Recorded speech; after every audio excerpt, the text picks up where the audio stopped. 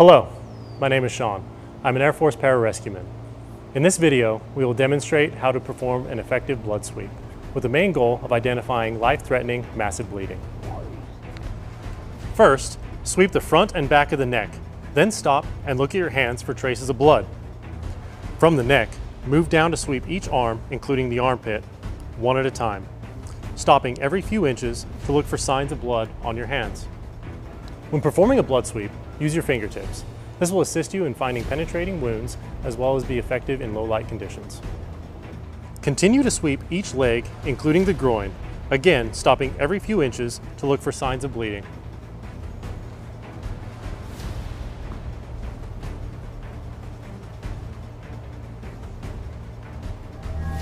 If you find any massive bleeding, you must intervene, utilizing either a tourniquet or wound packing, depending on the location and nature of the wound.